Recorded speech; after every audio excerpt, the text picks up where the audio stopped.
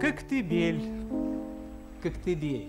Кто не бывал здесь, кто не лазал вверх-вниз по его каменистым кручам, чуть забрезгует рассвет, поднимите руки. Вон отсюда. Только за последние четыре года в Здравнице отдохнуло друг от друга полтора миллиона человек. Город-курорт, город-труженик, город-музей. Неверно сказать, что история Коктебеля уходит далеко вглубь. Нет, она уходит глубоко вдаль. Еще римский историк хитросплетений пишет, что сюда забредали некогда аркадские пастухи, влекомые своим скотом. А в допотопное время за золотым руном в гавань заплывали аргонавты, и плывший с ними в трюме Публий Овидий на сон грядущий так писал об этом в своих мухморфозах. «Здесь были в поисках руна, руна здесь нету ни хрена». Перевод Марьи Ивановны Сапшин, что существенно. Коктебель воспет. Здесь, в брызгах прибоя и слюны, читал свои вирши безумный Автальмон Напалков. Это его записал Грум Гжимайло-младший, помните? «Я каждый камень, Коктебель, в тебе пометил, как кабель». Э, перевод Эльвиры Штюрпфельглоссен, поэтический сборник «Содрогнись в поцелуе», 1912 год. Богата природа края. Граф Ланской любил пошуровать здесь в зарослях можжевельника и полакомиться винными ягодами с дамочкой. Частенько, Вспоминает сторож императорского заказника колхоза царя коммунизма Михей Трушка. частенько я держал на прицеле своего Бердану егонные панталоны цвета тела испуганной нимфы. Каких-нибудь четырех, пяти тысяч верст не доходит сюда Пржевальский со своей проживалкой. А вот на этих плантациях трудился на уборке укропа, инжира и чернослива Александр Сергеевич Пушкин, когда, сукин сын, был еще маленьким послушным пионером. Заслуженной, если не народной популярностью, пользуются местные минеральные воды, бьющие ключом здесь из трубопровода из Синтуки в Жниёжгород-Коктебель. Обливался этой водой по утрам еще мамин сибиряк, лечивший здесь свою сибирскую язву. Трохи оклемался, кажись, полегчало. Запишет он в своем дневнике за день до кончины. Вот далеко не полный перечень букета болезней, от которых исцелил коктейль Минвод Коктебеля. Здесь лечат страдающих малярией, неправильным прикусом, сепсисом пуповины, с глазом, блаженностью, пляской святого Вита, синдромом Альцгеймера, грыжей Шморля, рожей профессора Потапова, воспалением хитрости, тихим сапом, политической близорукостью, шалгемой, прихлюстом, внезапным встрепетом, майской вопью, ломотой, сухоткой, чесоткой, усушкой и утруской, перемедью, гнойным бзиком, глопотомой, ябединым хнырсом, туфтофолой, хроническим свербитом, гнусным агаканьем, коленной подзадью, сапелью весенней, нечаянным ветрогоном, гиенной припоминухой, юрайским гиппом, мочеточным ударом в голову, бубонами, угрями, цыпками, инклюзивной порнухой, кишмячной кишеллой, несварением яичек, расхряслостью среднего уха, свящом макушечным и многими, многими другими.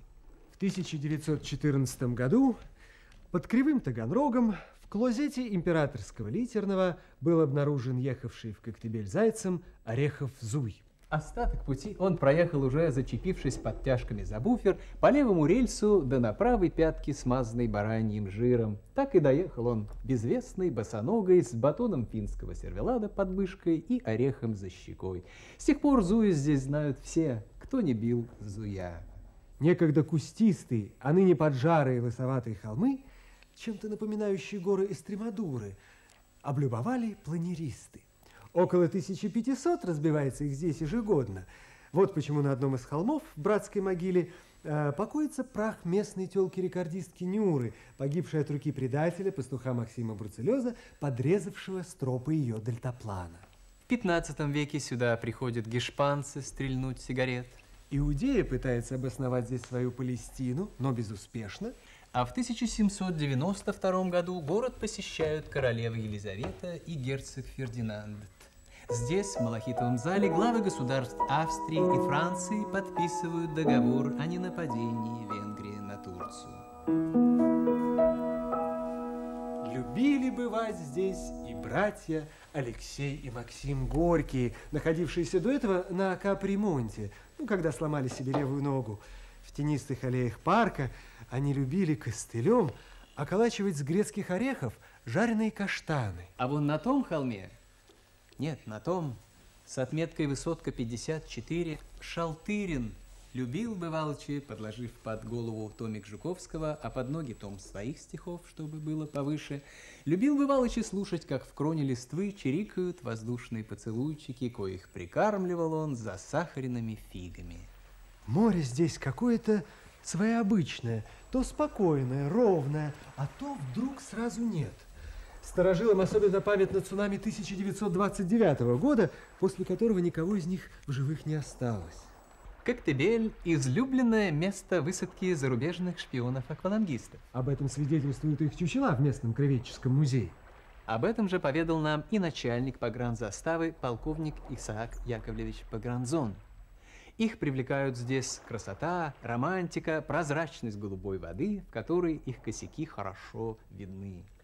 В 1958 году постановлением Крымского полезного совета было решено отдать солнечные пляжи бухты под лежбище котиков. Однако тупые, своенравные твари почему-то облюбовали холодные скалы земли Франца Иосифа Кобзонов, которые также бывали тут зачем-то. В местном ломбарде пылятся различные изящные, милые сердцу вещицы, которые в эту же пятницу через много-много лет на лондонском аукционе Сотбис будут пущены с молотка.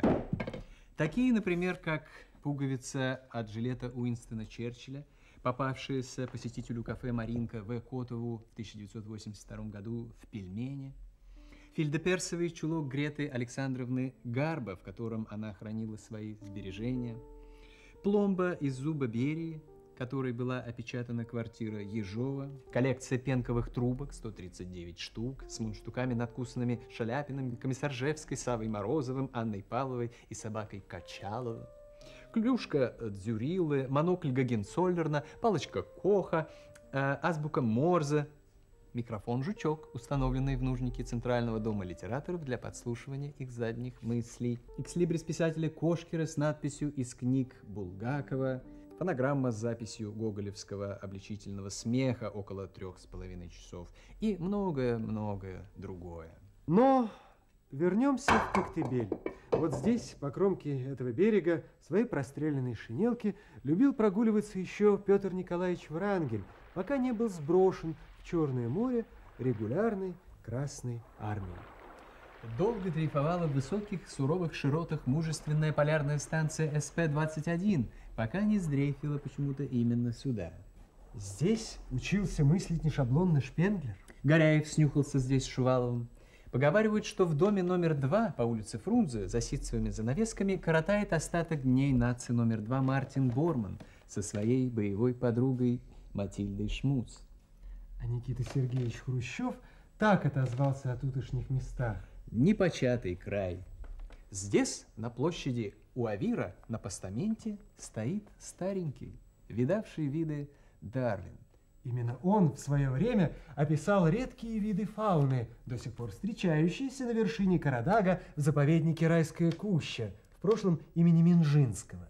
Сюда, в заросли черешни, бывало захаживает кошмарный котика, хрумкает нежным банным бамбуковым листом. Пипипа филиппинская, кадушечная, елозит чавки брюшастые, прожор волосистый бегающий, касатик мохнатый шапочный, африканский баобабник тропический наглый, белок старушачий, пакостный мелкотравчатый, многоразы, плюралазы и другие разнообразы, и, конечно, безобидные, невероятные, на скалах квохчут и кудахчут галапагосские ухо-горлоносы и, конечно, наш российский горлопан боеголовый. Ну, а в травах травах свиристят и стрекочут аж трипчатые кутузики и пеструшчатые ушастики, снуют туда-сюда босикомые косикосиножки, нагуливают свое молочко и божьи коровки, и куколки голливудские. Ну, а в лесах, где когда-то в мезозой обитали коленкоминозавры, ныне собираются в стаи одинокие яйцеголовые ненормалы и свободные радикалы-яйцеглисты любитель помочиться, обнаружит в верхнем слое швали и шваха шпунь фанерную и шелупонь всевозможную, ну и, конечно, лишай привилегированный. Водятся здесь и тяпки подляпочные, фальшивые кузнечики, скрычи, сдрели, дрючки, жраль травянистая, райкомовская и мерзавчик бытовой постельный.